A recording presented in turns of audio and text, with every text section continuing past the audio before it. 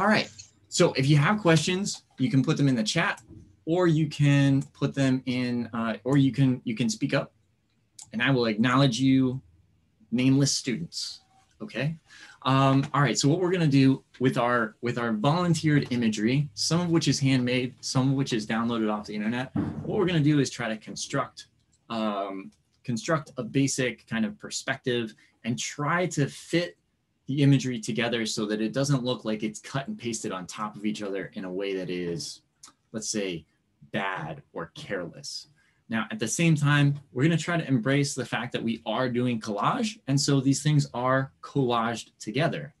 But an understanding of the objects, both in their the ambiguity of their form and the specificity of the space that they're trying to imbue the atmosphere with is what we're going to try to keep in mind. The other thing that I want you guys to keep at the forefront of your mind when you're working on this stuff, I was just at a lecture by Perry Kulper, and he was talking about the fact that he is loath to start with a blank page, and he is also loath to finish anything. He said, um, and this was not even an hour ago, he said, I try to leave every drawing indeterminate enough to give me baggage to take forward to the next drawing.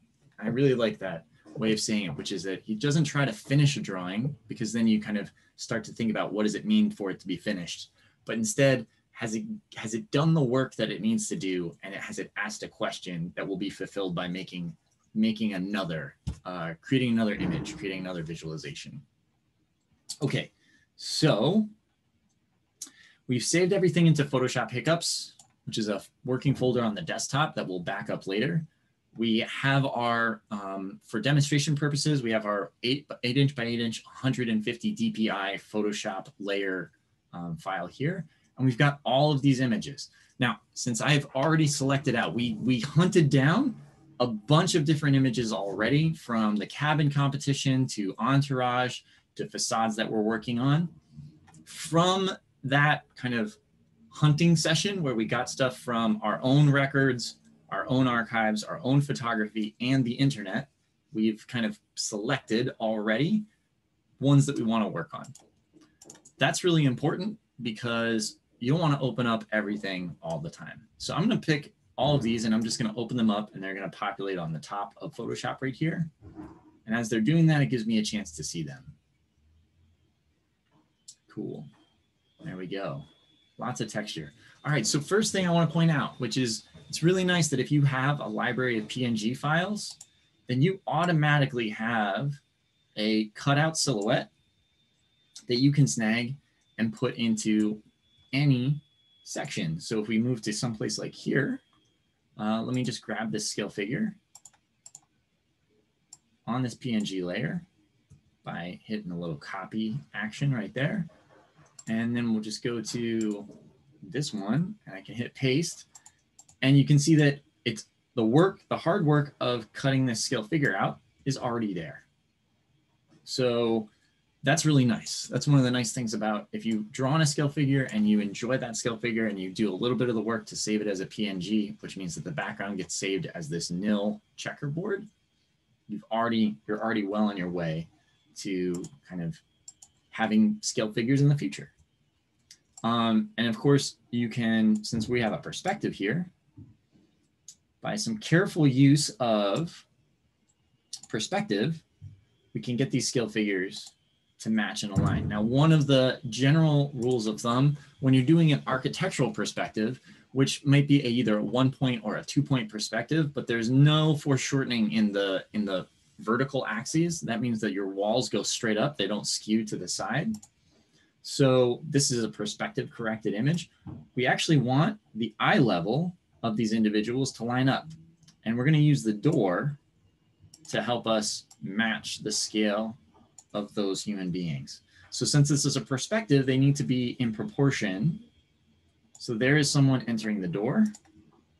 Now, obviously, if we put this guy next to him, that guy is a, a you know regular sized human being, and this is an extra large human being.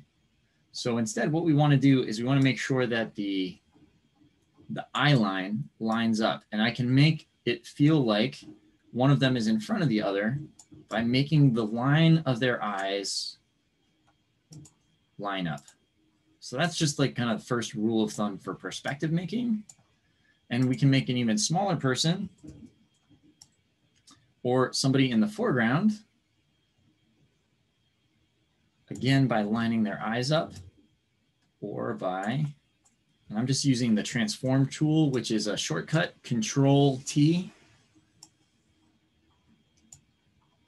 So you can see that person is on now on the edge of the staircase. And if I make him smaller, so they are now in the background and they're walking up. So it'll be a lot easier. I'm just gonna put in a layer. While I'm working on stuff, I usually work with a background layer that's a color. Um, sometimes if I want to specifically acknowledge that it's just a ridiculous color, uh, I will make it a ridiculous color on purpose. So I'll make it something like red or green or blue. Um, if I'm working late at night uh, and the room is not very bright, I will make it black so that the room is not as, so that my computer screen is not as high contrast. That puts less strain on my eyes. Um, and if I'm working in the middle of the day or I'm working on a final draft, I will make the background color white so that it looks like it's floating on the piece of paper. And I often try to work on a frame with lots of white space around. I usually try not to get an instance like this where I have a person engaging the frame unless that's actually something that I'm designing into my presentation. I usually try to let things float away from the white, the edge of the space so that I can arrange them cleaner together.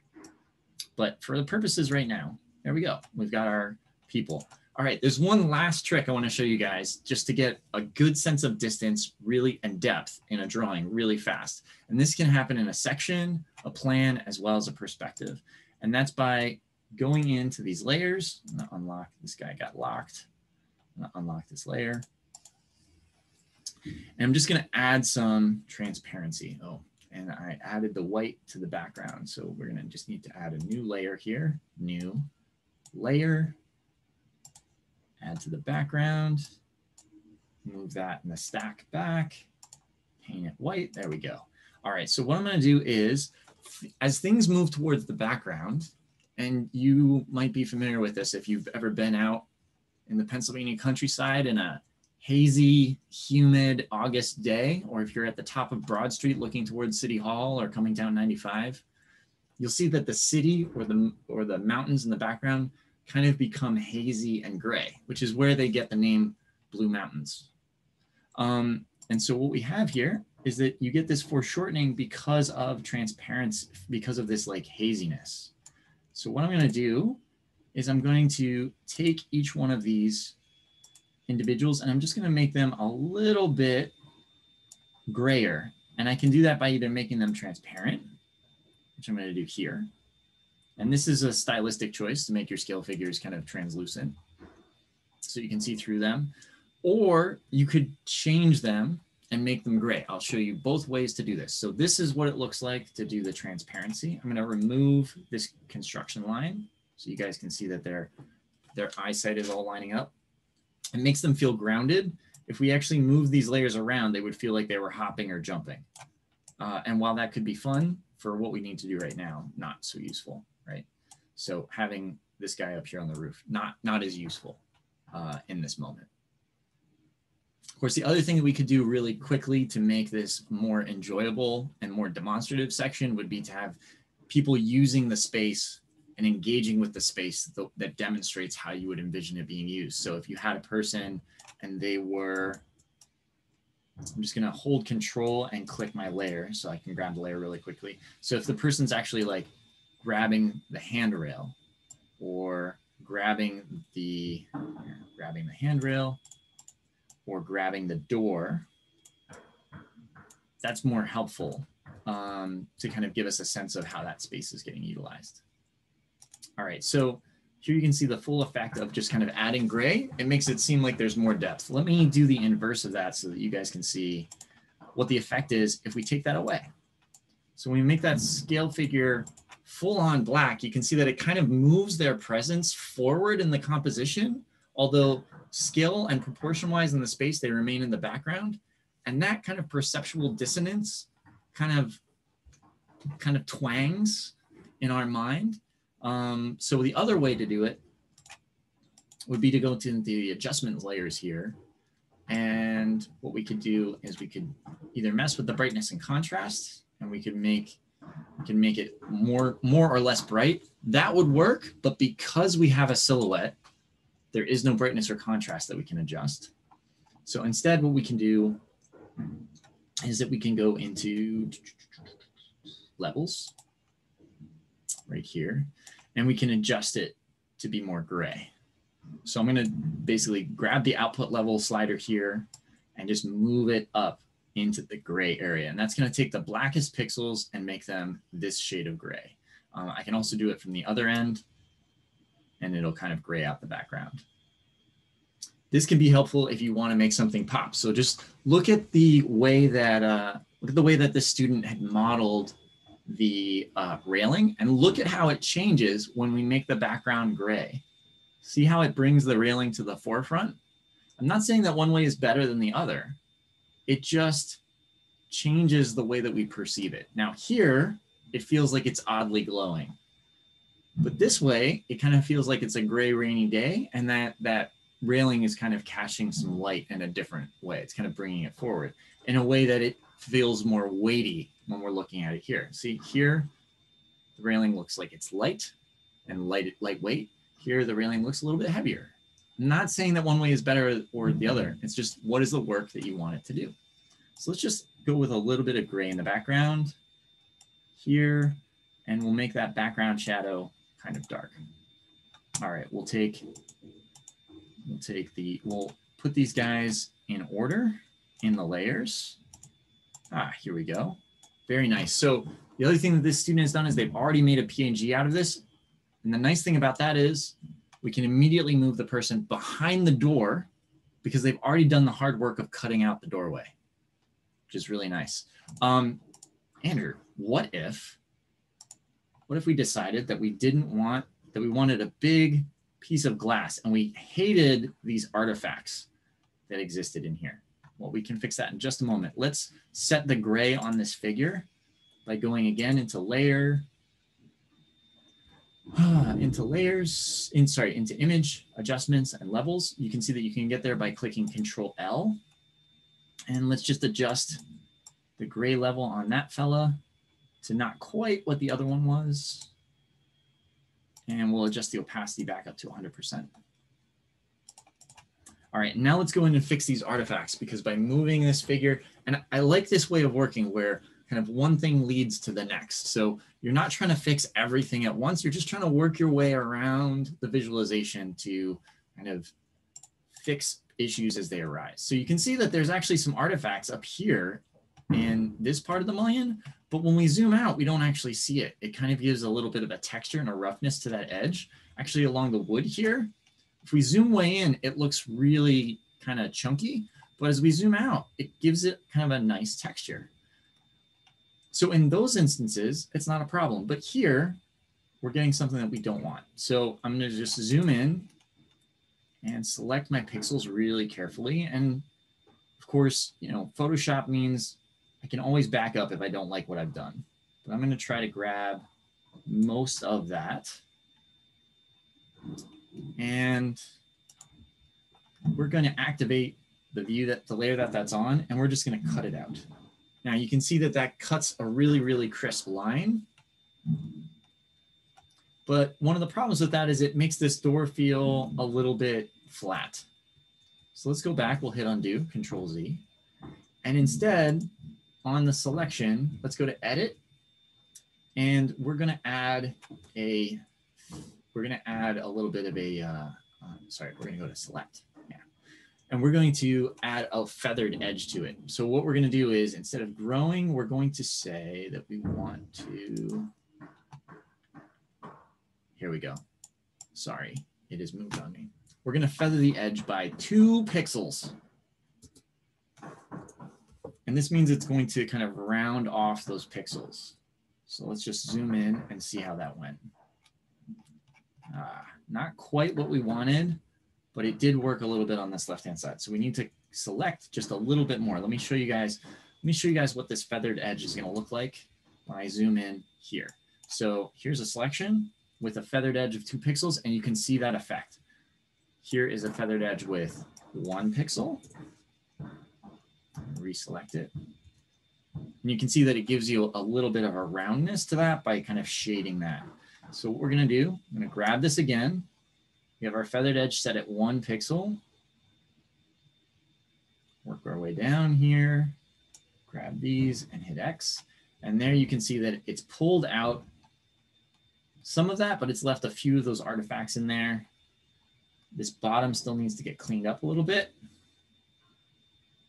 So I'm gonna do the same thing. I'm gonna select not quite what I want right in here. And now to get the rest of that, I think I'm actually gonna use the, I'm gonna use the eraser tool. But I'm gonna mask this off by selecting the edge and I'm going to grab my eraser.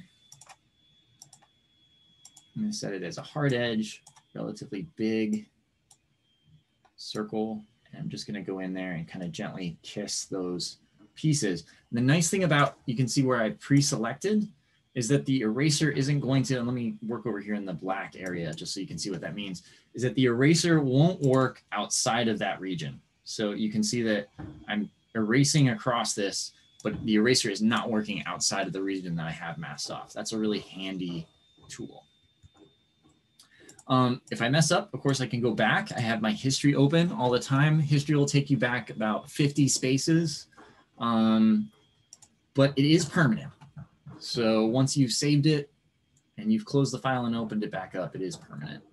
All right, so we've fixed the issue with the door, but it now just kind of barely looks like the, the scale figure is, uh, is behind it. Again, I'm gonna hold down control and click on the scale figure and that warps me to the layer that that fella is on. I'm just gonna move him over a little bit next to the door just so that he's cut off by the door jamb a little bit to give the impression of that depth.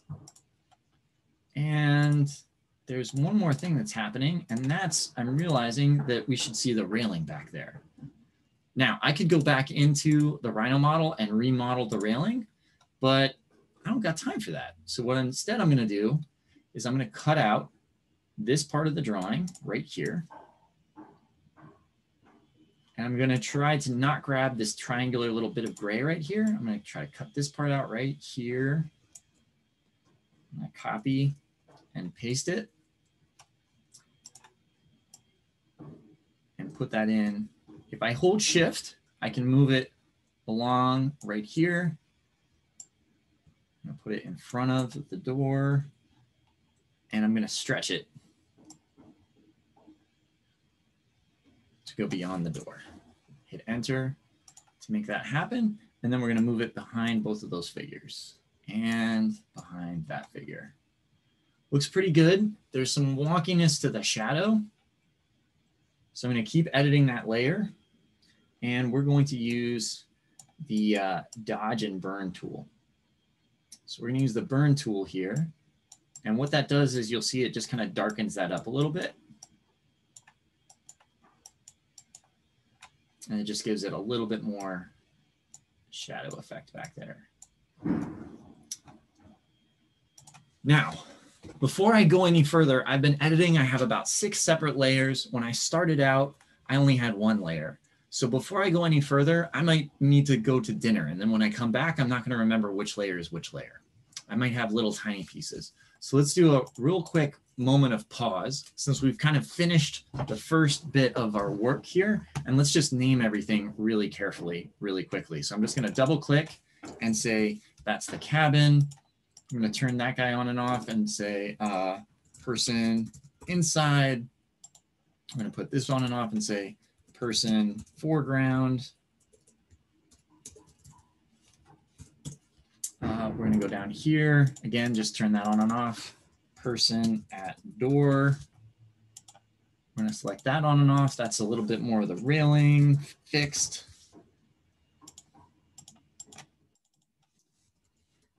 Gray sky, background person. And, oh, don't want a group. Don't need a group. white background. Take this even further. And I'm just thinking it would be nice to have our horizon line in here. The horizon line is actually at the eye level of all these individuals. The horizon's actually, you see the horizon at the level of your eyes. People kind of think that it should be at the level of your feet, but it's at the level of your eyes. So we're just gonna add layer, new layer. I'm gonna name this layer sky. Every time you add a new layer, you can actually add it um, the name right away. I am going to drop that control line and I'm just grabbing that with the move tool, grabbing a ruler and moving it down to here. I'm gonna grab the rule line, grab selection, select that area. I know this is super boring for about half of you guys. And I'm gonna paint this white.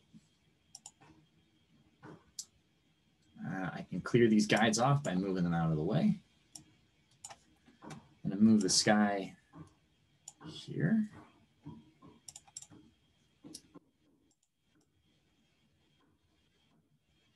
You can see like I've already got a sense of kind of a, a gravity or a ground just by giving a little sense of a horizon. And that can happen by adding a line or some gray. It can also happen by inverting it. So let me just do it this way. So this way works as well.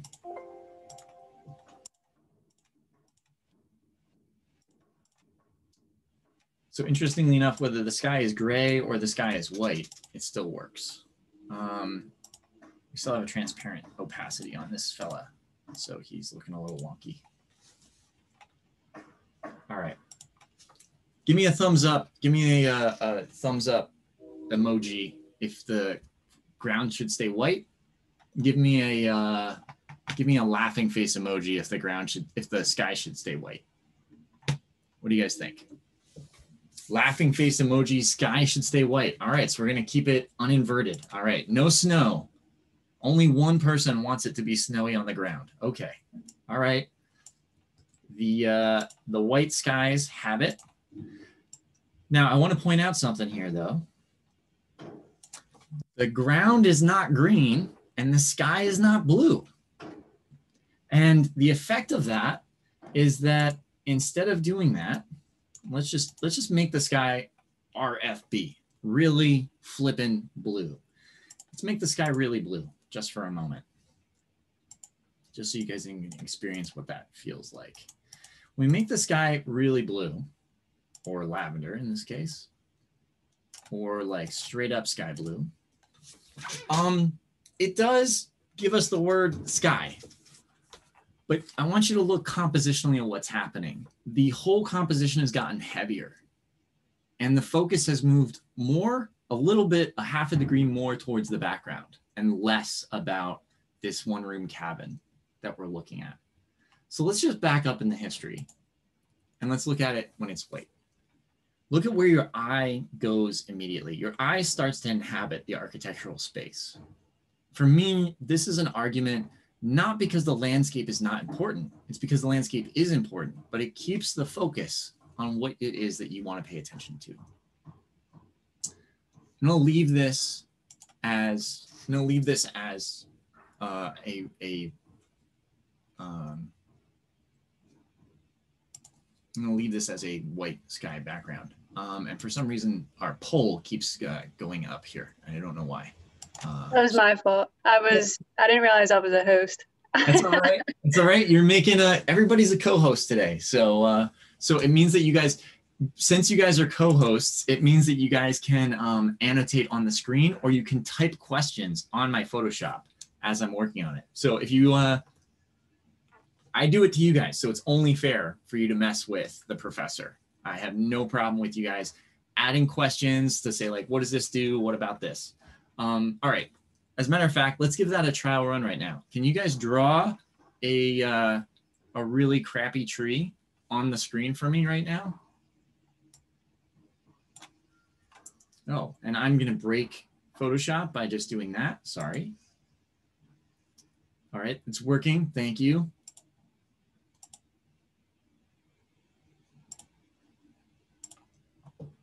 All right, we've got a, we've got a, thank you. We have our, our cheesy tree, trees. All right, here's our forest. All right, there's another thing that's going on in this drawing, which is that it's a section perspective.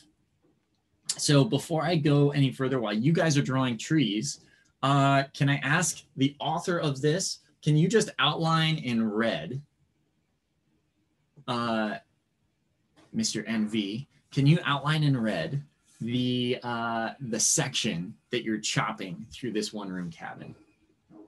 And I'm gonna follow along with this piece right here. I want to show this section line here. Yeah. And I'm just going to try to follow along and grab that section as best as I can.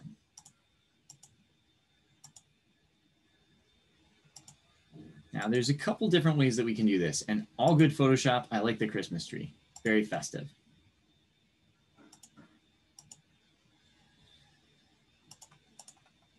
I'm just gonna close this shape. So if you guys can see for just a moment where that outline is, I've kind of grabbed just a little bit of where this is. I'm gonna zoom in just a little bit here.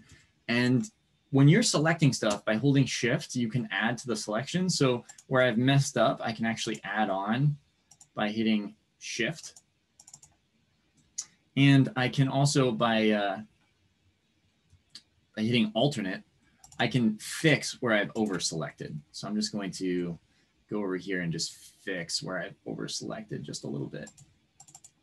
I'm gonna zoom back out so that your trees fit into the sky here. Okay. Um, and I'm gonna make this a called out section that I can use later. So I'm gonna create a new layer and I'm going to call it section cut. And I'm going to misspell it horribly because that's who I am. I'm going to say okay. And I'm just going to drop a, uh, a brilliant red because the author used red and I'm going to use red. He followed instructions and we're just going to plant it in there right now. And what you can see is all of a sudden, I'm going to ask you guys uh, if you can just hide, if you guys can use the eraser tool and just hide your trees for a moment, and then you can always use the undo, undo tool and your trees will come back. Um, but what you can see is that we have now, we have a really clear language of where the section is cut. Now I made it red just to be, to prove my point, but it doesn't have to be red. Um, as a matter of fact, we could change it to be other colors we could either use the paint bucket to dump color in there, or we could use uh, hue saturation and we could make it really red, or we could just make it gray. We could make it, uh, we can use hue to change the colors. So if there is a color scheme that we're going for, we could try to match it. Um, give me thumbs up if it should stay. Oh yeah, we're definitely using construction orange. Uh, if it should stay gray, Give me the confetti cannon if it should go brown. Give me the laughing if it should stay really super orange. Thumbs up for gray, laughing for orange. So, all right. Oh man. Okay. All right. We're staying construction orange. You guys got my heart. All right. So we're going to stay construction orange. Now it's time to add a few more conventions. Uh, we have the section cut on here. And can you guys see where I added that little tiny bit of detail right here? And actually, let's clean it up. This is the mullion where the window is. Let's continue to clean that up by just dumping some more uh, bucket in there. Uh, I have a key color of orange now, so I'm gonna just hit alternate. By hitting alternate, my cursor turns to a eyedropper, which allows me to match a color. And I can just bucket in there. Uh, I still have a feathered edge at the moment, so I'm just gonna kind of zoom in on this, even that out with a rectangle, grab the bucket again. Uh, we're gonna make sure that, and there we go. Add a little nubbin. There we go. And I can even go one more level of detail. Uh, let's just add another layer. Every time I have a level of detail, I just add another layer. Um, let's just do a ground line. And let's add another layer. And we'll call it glazing. All right, now, um, in the chat, what color should the glass be?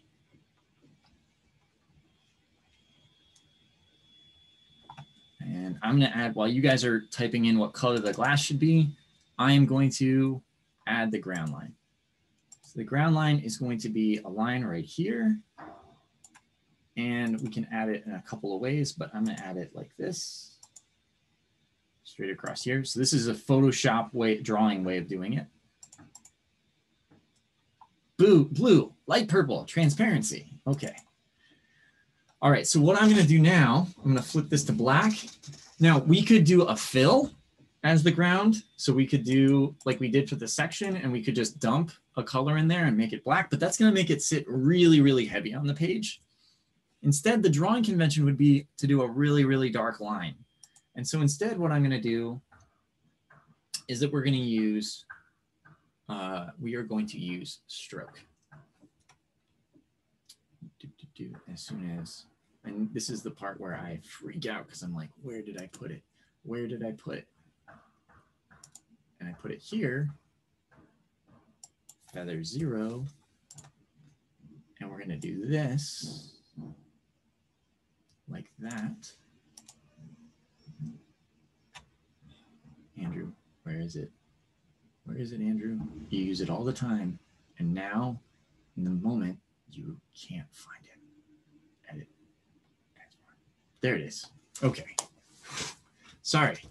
Sometimes when you have these things by muscle memory and then you're trying to narrate what it is, it gets really frustrating. Have you been there? I'm sure that you guys have been there, right? You've been in homework and you're like, what is it that Andrew said in class? What was the word that he said? What was the word that he said? What was the word that he said? He said stroke. I knew it was in, I have a kind of a top 10 tools for every program that I use. And in Photoshop, history is like one of the top ones. Magic Wand, it's a Spider-Man tool. Sometimes it really, it can be used for evil, but I do love it. But image adjustments, top 10. Edit, usually what I'm looking for is in edit. Select, if it isn't in image or edit, it's usually in select. And the one that I never, ever, ever use, but I always get, when I get really bored, I find myself experimenting in is filter. We do not want to use filter. All right, so what we're going to use now is called the stroke tool. And what this is going to do is it's going to stroke a line that follows the selection box. So let's make it five pixels centered on the inside. And we're going to say, OK. And what you will see is that we've just got a big, dark, stroked line right there. And now I'm going to cut this away right here because we don't need it. I'm also going to take the section cut. I'm going to cut that away because we don't need it. And I'm going to paste it back. And we're just going to leave this as white. Adjustments, brightness contrast, make it super bright.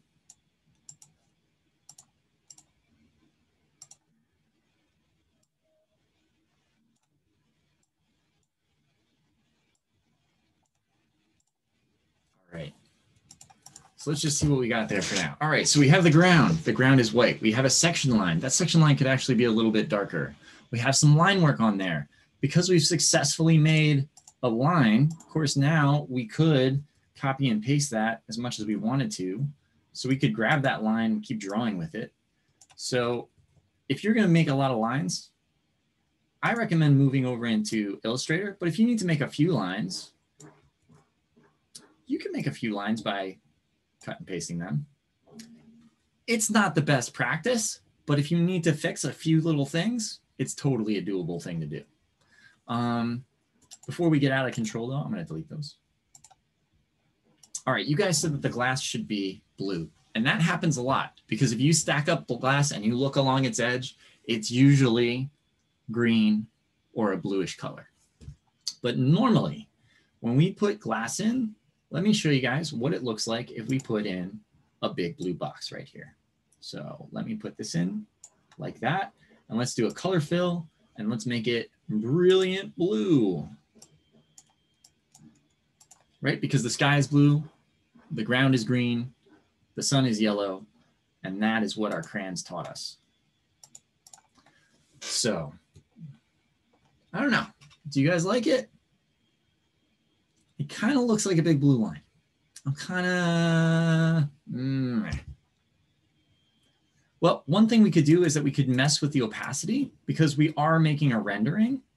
And so we could kind of hint at it right here. But you can see that as we make it more opaque, more, sorry, more transparent, it just kind of fades away into nothing. Uh, that doesn't quite work as well. I'm gonna go back and I'm gonna say, let's do an edit and we'll do the stroke command again. Let's do it to the center. Let's do it one pixel wide. And instead, let's make the color white. Watch what happens. All of a sudden, we've got this very delicate line in there. Now, one pixel wide might not be wide enough. So I'm going to just undo, move back to the rectangular marquee, and I'm going to say edit, and I'm going to say stroke. We're going to do it to the center. We're going to do it two pixels wide. And we're going to not do it quite white. We're going to do it the gray color of the sky, just a little whiter than that, and say OK. Now I've drawn that on the same layer as my ground line, which is not very helpful. I'm just going to cut this out for a minute. cut away those two little pieces. This deserves to not be on the ground line. This deserves to be on its own layer and cut that away. But I've got two white lines here. I'm gonna just chop that whole thing out and paste it. Before I lose it, because it's so gosh darn tiny, before I lose it, I'm gonna put it where it needs to go. And I'm going to link it to the section. So watch what I'm gonna do over here. I'm gonna hold control and click it, click this section, sorry, there. Oh, hang on. Gotta set, apply the transformation. I'm gonna hold control. I'm gonna click the section and I'm gonna hit this little chain button and that's gonna link that together. Actually, I want the ground line to stay linked together as well. So I'm gonna hold control and add these together and hit the chain button. And this way, if I move them, they all move in the same way. Since I don't want any changes to be made to them anymore, I could also select them and I could lock the layer um, usually I don't lock layers, but let's just do that right now. Let's lock these layers so that we don't change them. And let's make sure that we add this as glass lines. Okay, it is time to plant the tree. I'm gonna ask, uh, can somebody, I'm gonna just uh, erase this. Nothing against your tree, just gonna erase your tree for a minute. All right, uh, we'll go back to the mouse. Okay, so now what I'm going to do, we're going to plant a tree in this area right here. Actually, we're going to plant a forest of trees because just planting one tree is not good enough. So we've got some selections here. This is an online version, but let's just go with what happens if we want to edit a tree, you know, from a drawing that we have. Um, I really like combining hand drawing with computer drawing. I think it makes it look better. So first, what we got to do is do a really quick cleanup. Thank you for the addition of this tree. So we're going to do a really quick cleanup. So before we move over there, let's do a save file on this. So we're going to say save as. I always keep a backup. So we already saved this as Photoshop demo, but let's save this as the Photoshop demo and five o'clock. Five o'clock. That way I have a backup in case I did something that I realized I wanted to do. I usually have like three backups just in case. And say okay. And then we're going to go over to our hand-drawn tree over here. Excellent. All right, this is a good photograph, but you can see that it's a little bit gray. It's not truly black or white. So I'm going to free it up from the background here. Layer from background. Okay. And we're going to make just a layer here that is going to help us maintain our kind of color palette. We'll go click on this to make it black and white. And that square will be black. And this square will be white. There we go. And you guys can see, as soon as we do that, you can see how not white the background is and how not black the, it's pretty black. This is a really good photo. We've got good color differentiation, but we can make it better. So it's gonna look dingy if it shows up on our computer screen. So if I just cut and paste this out right now like this, cut, cut, and then bring it over and paste it, it's going to look like a, a relatively dingy tree here in the background. All right, we can make it a little bit smaller. Now it looks like a dingy, it's going to look like a dingy out of proportion tree. Okay, let's keep moving him to the back.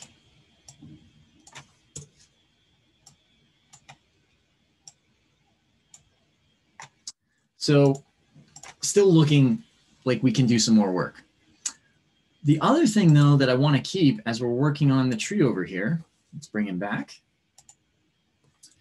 is there's some smudging and there's some texture from the paper that's just kind of a wonderful thing.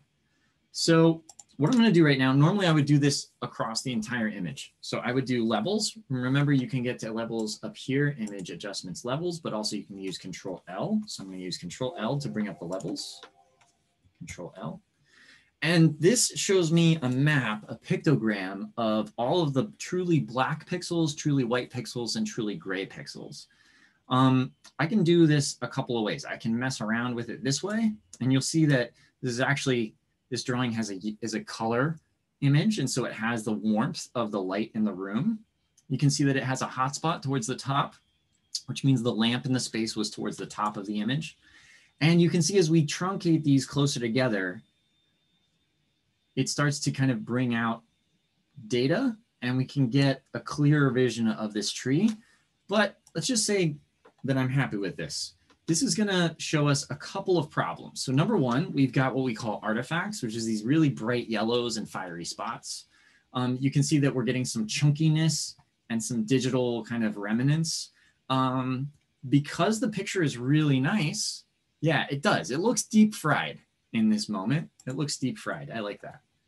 Um, so what we wanna do is try to nudge it with a little bit more care and affection. So let's try to bring this down to here. Let's try to bring this up slowly. And I'm going to tell you, every single sketch is a little bit different. So we're just going to move it a little bit. And when we start getting some of that texture and it gets a little too crunchy, a little bit too French fries, we're going to back off. As a matter of fact, I'm going to back off a lot more from where we're at right now. It's starting to look better. So that you guys can see what I'm doing, I'm going to do something that I don't advocate for you to do. So I'm going to select this area and I'm just going to edit this area. Image, adjustments, levels. Now, what should happen is that it will only make those changes in that area. And that way you can see what we're doing. The other thing I'm going to do is I'm going to move this level layer up here so you guys can see the impact of those changes. All right, so that we have, just so that you can see kind of some consistency with what it looks like. All right, so here and levels. All right, so let's look at this. You can see the pictogram is different in this area because I'm not having to deal with the hotspot of the upper part of this screen, so I'm not editing the entire drawing. Now, some things are happening that I like. As we start to make it blacker, do you guys see how there's some smudginess around those lines? I really like that effect. That's an effect that would be hard to duplicate in Photoshop. That's something that I like about a hand drawing. But you can see that it's not quite where it should be here. It's getting to be a little crunchy. Since, since this is not a color drawing and the color is not important for it, before I go any further, I'm gonna get rid of the color in this image. So I'm gonna hit cancel. I'm gonna go here. I'm gonna select it again, edit, adjustments, and we're going to go to hue saturation and we're going to take all of the saturation out of the image. You can see this is all the color information. If I overclock it, you can see just how warm the, that, that light is. So I'm going to take it all the way to zilch. That's a black and white gray image. look at that difference right there. Image. And now we're going to go in and do levels. This is a lot for a tree, right? But no matter what you do this for, for a tree, it's going to work. The other thing that's great about this is that once we have this tree edited, we'll have it forever and we can use it in every single rendering from here until forever. So we're going to get the white pretty close and then we're going to adjust this gray so that we can keep either the smudginess or the depth of those pixels.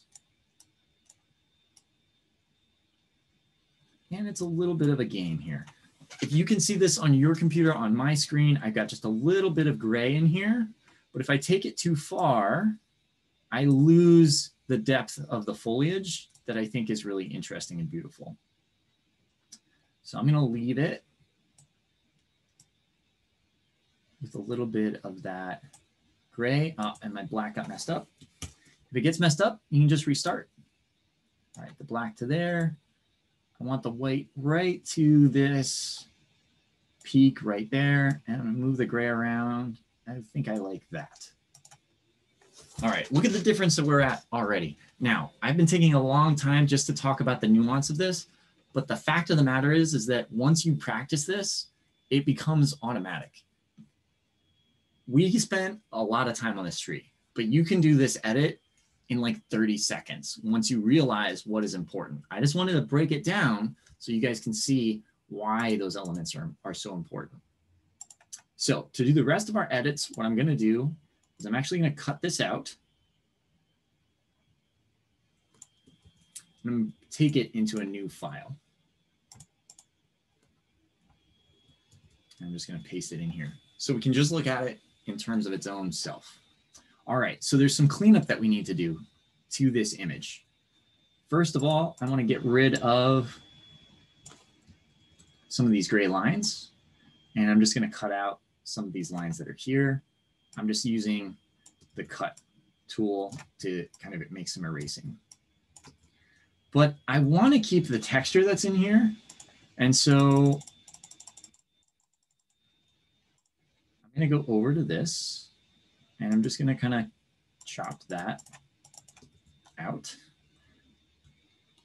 And we're gonna zoom in a little bit. Remember, I did this texture. So I'm gonna try to keep it because this is what's gonna give it that handcrafted look. I kind of like the ghost of those pieces.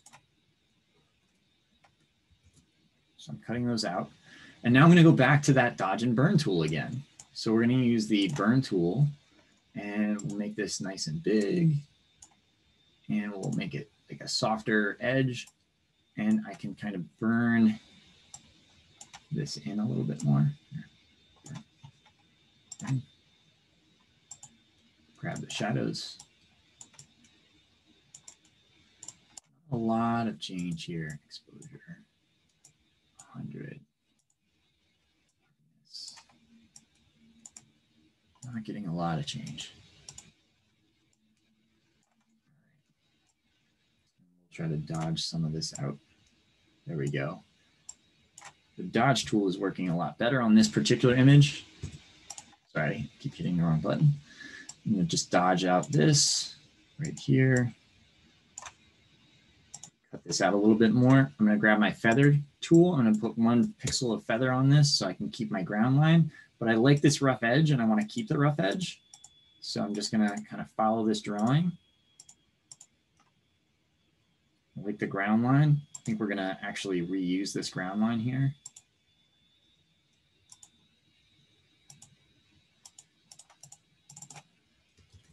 There we go.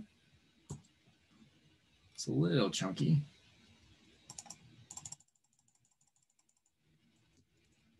Back up.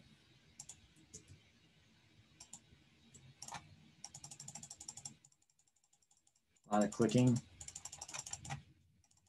I'm trying to work in small lifts so that I can get what I want. All right, so we've cleaned up the drawing a lot. Let's just clean up down this way a little bit right here. And we're just about done. All right, one more time with the levels. And you can see that the pictogram has been changing every single time. So we have a lot less white pixels now.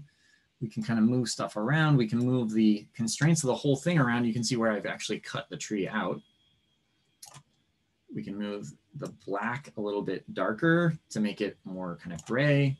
So let's just make this a little bit darker, a little bit less white in the edges. There we go. All right. Now, we're about to move this over to rendering. There's two ways that we can do this. We could cut it out like a sticker, or, and this is my favorite thing to do, we can peel the ink off the page. So cutting it out would just be cut and paste. But I'm going to show you guys how to peel the ink off the page right now. And this is one of my favorite tricks to do to help bring the life of a hand drawing into the ease of a computer perspective. If you practice this one wonky, strange thing, right? So here's the clickbait. This is the one weird tool that I'm going to teach you today. So we're going to click on this using the magic wand. We're not going to left click. We're going to use right click. We're going to right click and we're going to say color range. Now, I will tell you, I always do this wrong the first time. We're going to zoom in and we're going to we're going to select either the white pixels or the black pixels. Every drawing has a different personality. But what we're going to try to do is peel the black ink off of the page. We can select the black ink by doing this and then increasing the fuzziness. And because we've done a good job editing the levels, there's not a lot of haze around here. When I say okay, it'll show you that we've got the black lines. And when I cut them out, it's gonna look like that. And we're gonna go back to our Cadden and we're gonna hit paste. And what you're gonna see is that we have a beautiful tree of black lines. Let me put it in the forefront here and let me edit it. Oh, did that again? Oh yeah, oh yeah. So this is just the black lines of the tree. And if you zoom in, you can see that we just have those black lines and they're a little bit gnarly. So now I'm going to show you the other way to peel the ink off the page. Same use of the tools. And get rid of this. Same use of the tools. So I'm just going to back up. So we've used levels. We've kind of ooched this to where we wanted it. We've used burn and dodge and the eraser tool. Those are the only tools that you need to use for this. It's very easy. It was a it was just a picture from somebody's desk. Now I'm going to go down to the magic wand and instead of left clicking, I'm going to right click. All right. Now, instead of clicking on the black ink, what I'm going to do is I'm going to click out here on the white pixels. And we're going to say color range. So right, so right click, color range. Now I'm selecting the white pixels, not the black pixels, the white pixels. Not the black pixels, the white pixels. But Andrew, we need to pull the ink off of the page. Why are you selecting the paper? Watch this. When I say okay, and then I, I decrease the fuzziness, do you see how it picks up more and more of the tree? Let me decrease the fuzziness all the way so you can see what that selection looked like.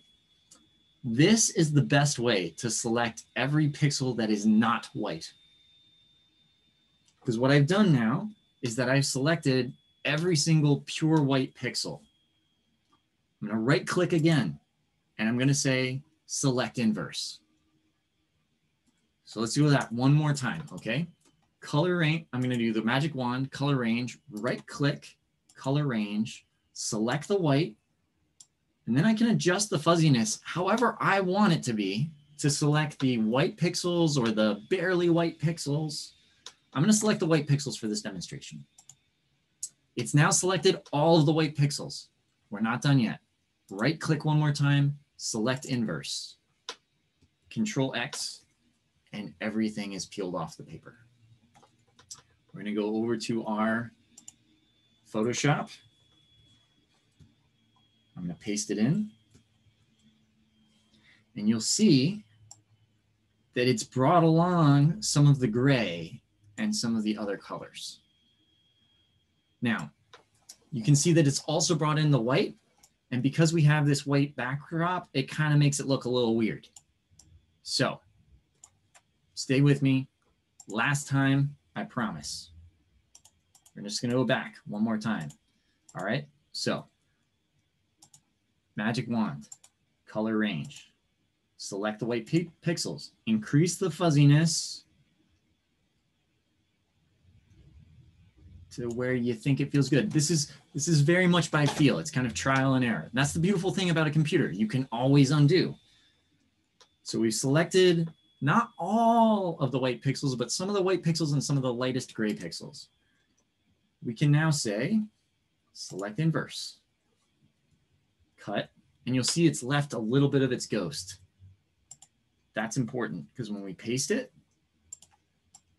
you're gonna see that it's a lot more natural in the way that it has these pieces. So let me turn off the two other trees. Turn off that tree. And we'll turn off that tree. And let's move this guy in. And you can see that we've got this really beautiful tree right here. Let's move it down in the stack.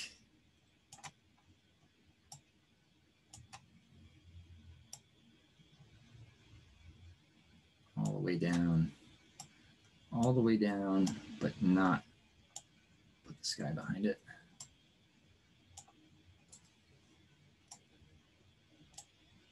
There we go. Oh. All right. So there's our tree. Now it still looks a little funky. And so what we actually need to do is zoom out. So I'm going to increase my canvas size.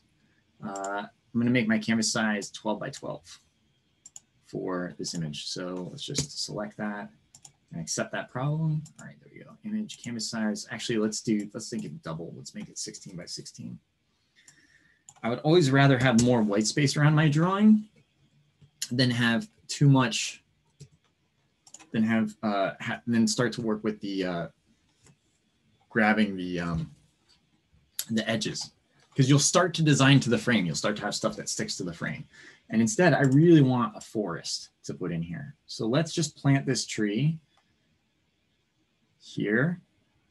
Uh, and we can plant it, we can even make it more life size.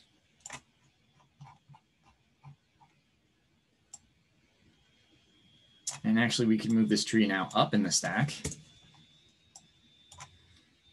And instead of having a computer-like line, we can have that wonderful ground line right there.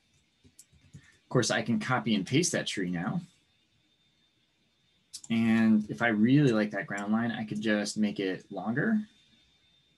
And of course, if I don't like the tree in that proportion, I can just say, that's fine. I can cut the tree down. And now I have that handmade ground line.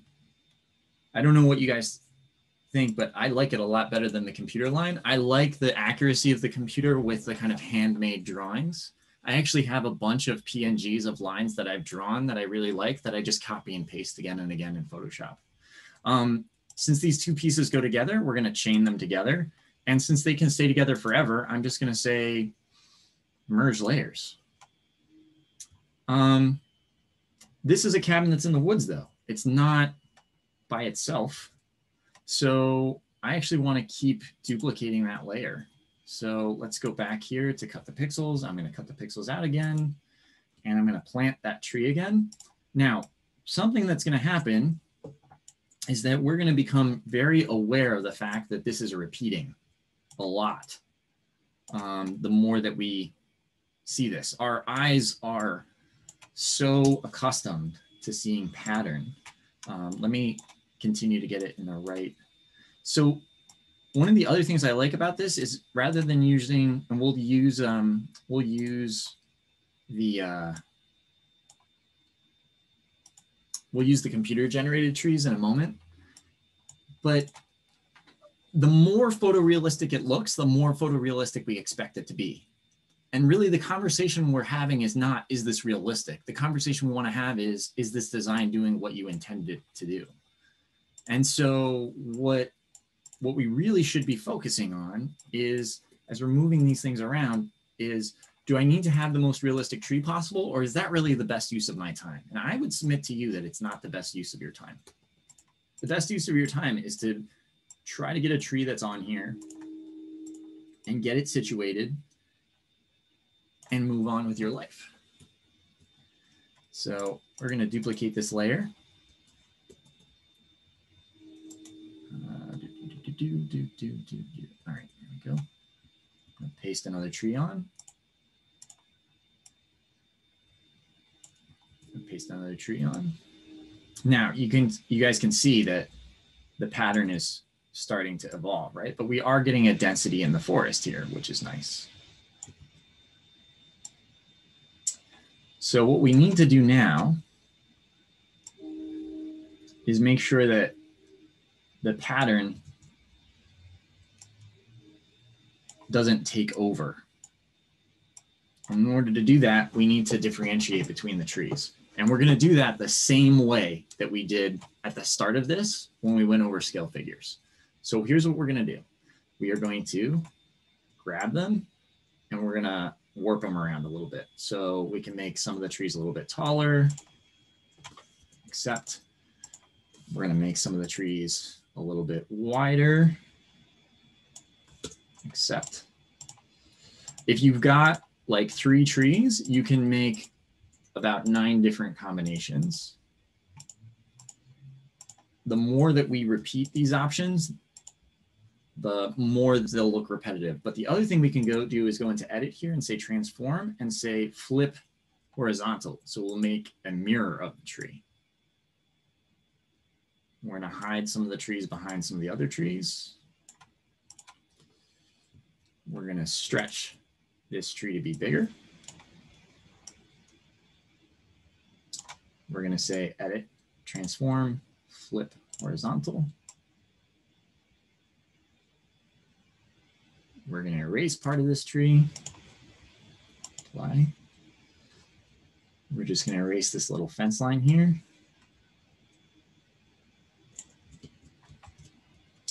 Cut that tree out. And we're going to put it in there on top of itself. Grab this tree, in here.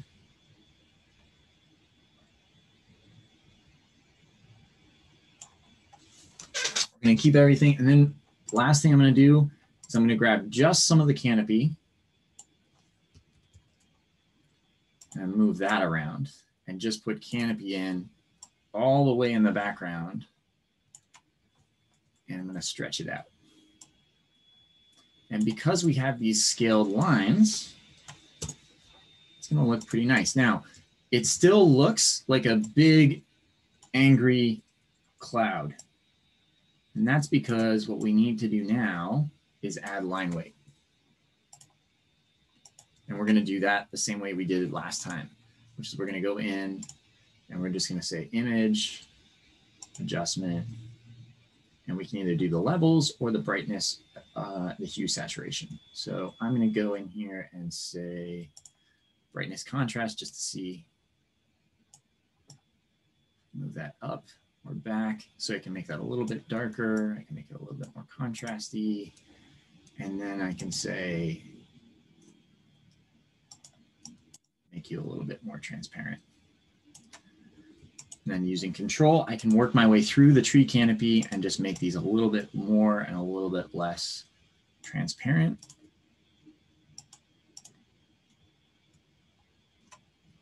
Grab the tree in the back and I'm going to work my way from the trees in the back forward just to give them a little bit more depth. Not a lot, but a little. Let's um, let's take that white background and just dump some more white back here just to see what it looks like. Now, if I was moving this over into like InDesign, I would keep the checkerboard PNG background. I would just move the Photoshop file over. But just so you guys can see it on the screen as a check, let's just dump white into this backdrop. What do you guys think? Let's make it a little bit wider. So the question was 24. The question was, what can I do to ground my drawing so that they look more integrated? Well, the drawing convention that we need to follow would be that you need a horizon line. You need good line weights. You need enough information on the page. Hand drawing does a really good job of imbuing feeling, but it takes a long time to draw. Um, drawing like this, though, is really fast because we can copy paste and copy paste and copy paste. The danger is that it starts looking repetitive. So the shortcut is to use the computer for what the computer is good at and use your hand for what your hand is good at. Look at the detail that's in this section. We even have the glass in here. And if we zoom in, it actually still looks pretty darn nice. But we can also zoom out and we now have a site section. We could actually frame this a couple of different ways and have it be equally valuable no matter what. We could use it as an interior perspective. We could use it as a section drawing. Um, we could turn different things off if we wanted to remove the scale figures or the, the trees, we could do that. Um, if I just turn that off, it's like a section cartoon. It's almost starting to be a diagram now. So you can actually start to build many things out of this. This is part diagram, part section, part perspective. And of course, we can cannibalize this drawing for any other drawing. So once I've done the window, I can grab it and use it elsewhere. Once I've done the scale person, I can grab them and use them somewhere else. Um, let me just show you guys why I didn't choose to use these trees. Man, I use these trees sometimes. Actually, I know this PNG file really well. Um, we're going to use the same exact methodology. We're going to say color range, select the white, select inverse, cut, and we're going to go over here. I'm going to say file, new, paste. And what I'm going to do is just grab one of these trees. So let's go in here. And this is where having kind of multiple trees is really handy because then you can kind of build out the forest for yourself. So let's just cut that guy out. Take it to here and paste it in. So first of all, you can see it's it's a rather small image, whereas the uh, the image of our of the um, was much better. This is all right, but there's um there's a handmade goofiness of those hand drawings that I just love, and this Getty image tree just doesn't quite have it.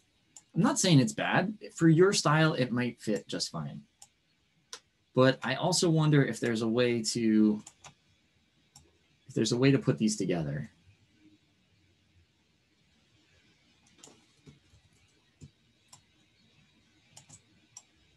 That makes it work a little bit more friendly. And you can see like what I tried to do was to get the big broad strokes down quickly. What I tried was to cannibalize existing drawings quickly. The background and the landscape is an essential part of the space, but it's not the whole story. The story is being in this room looking at the landscape. So if I spend too much time on the landscape, or if I spend too much time on the architecture, I'm not really spending time on the story. What I really wanted to call out about the story is that this is a section, there's an amazing view, and you're framed not only by the window, but the cabin and the forest at large. So none of these pieces need to spend more time. We don't need green, green grass. We do not need blue, blue sky. Um, as a matter of fact, for the ground, we did pretty good with just having some gray and having some white. And, uh, and if we run out of that, I can snag it again by zooming in here, grabbing the gray, and stretching it back out.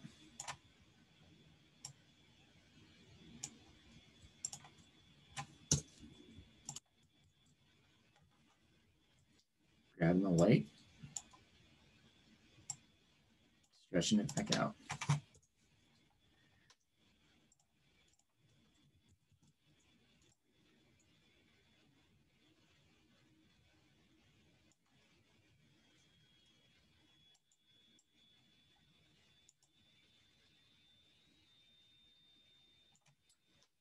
And the other thing I will say is so even though it's small on my screen, I do this a lot where I try to, this is like where if you were drawing a drawing, you'd pin it up on the wall and you'd look at it from the back of the room, the front of the room, and right next to the drawing.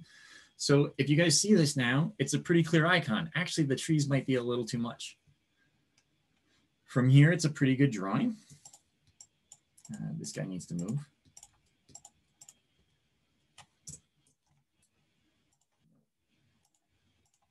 Can't grab him. There. This guy needs to move over here. Um, but also, it's pretty valuable from looking at it this close as well. I'm more focused on the materials inside than I am on the fact that the um, the brown line just kind of wrapped around it. Uh, there was some little details that we did to the door. Remember the door and the railings? Those were little tiny details, but they took about 20 seconds, so they were worth it. Now would be a good time to save. Um, our horizon line is a little messed up at the moment. So I can always go back and, you know, just add that back in. But it's interesting, we've started to also evoke a, I don't know, a, uh, a language here. It's not quite photorealistic, but it's not exactly, it's not exactly shabby either. I think it's actually showing us probably the, the best of what we want our reviewers to look at. The other benefit to that is that the more, there we go. The other benefit to that is that the more um, kind of playful the drawing is, the more time we spend talking about the design and the less time we talk about whether or not it's a pretty picture. And as a matter of fact, actually, I think the composition of this is very even and kind of settled. Um, I just have one last thing I want to do, which is that this tree is still bothering me. So any questions, go ahead and put it in the chat. If anything you want me to go back over. Right, just gonna do a little hue saturation, desaturate that, make that a little lighter.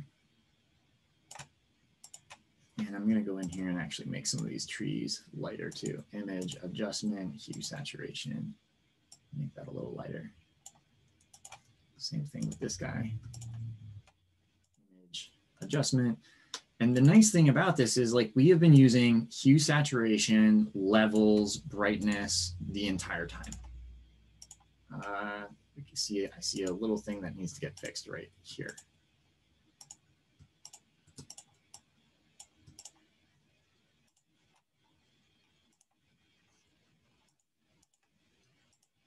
Have a small problem right here. And so we're just going to cover that over. There we go. We've even added a little bit of depth to the field of the ground.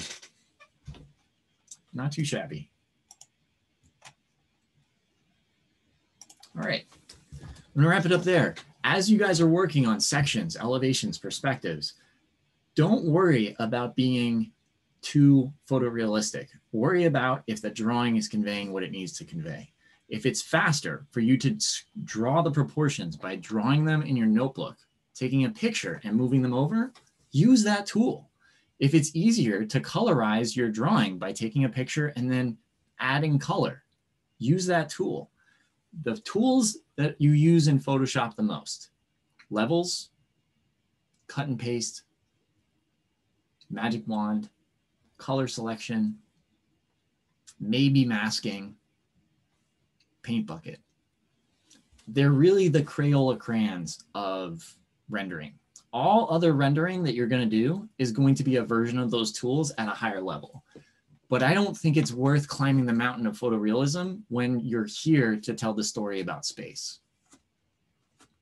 It's not that photography isn't important. It's that the story you have to tell is more important than whether or not the leaves on the ground look the way that it is. As we discovered earlier this semester, when you're working on stuff like this, it's impossible to capture the redness of an autumn tree in a camera. But if you do a good job of just hinting at it and telling us the story, our imagination will fill in the details. Um, I see this as actually a pretty wonderful forest, and we only have about we only have two different trees, and we have it's mostly a forest made out of the same tree, and uh, I'm okay with that because it's doing what it needs to do. Um, probably a little bit of uh, drawing to do in the trunks here. This isn't done yet, but I'm going to stop it there. Thanks, guys. I hope this was helpful. All right, we're going to stop recording.